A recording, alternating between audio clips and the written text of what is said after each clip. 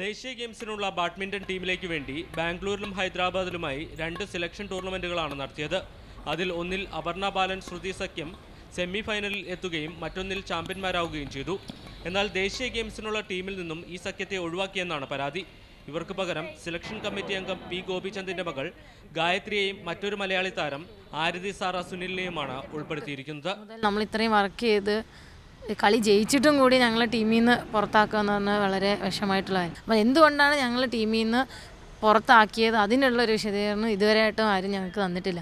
ദേശീയ ഗെയിംസിനുള്ള പത്തംഗ ടീമിൽ മൂന്ന് ഡബിൾസ് ജോഡികളെയും നാല് സിംഗിൾസ് താരങ്ങളെയുമാണ് ഉൾപ്പെടുത്താറ്. ഇത്തവണ ഇതിനു പകരം ആറ് സിംഗിൾസ് താരങ്ങളെയാണ് ഉൾപ്പെടുത്തിയിരിക്കുന്നത്. ടീമിൽ നിന്നും തഴഞ്ഞതിനെതിരെ അപർണയും ശ്രുതിയും ദേശീയ ബാഡ്മിന്റൺ അസോസിയേഷനും ദേശീയ കായിക മന്ത്രിക്കും പരാതി നൽകിയിട്ടുണ്ട്. ഇതിനിടെ ജ്വാലാകുട്ട അടക്കമുള്ള പ്രമുഖരും ഇവരെ പിന്തുണച്ച് രംഗത്തെത്തി. മാതൃഭൂമി ന്യൂസ് കൊച്ചി.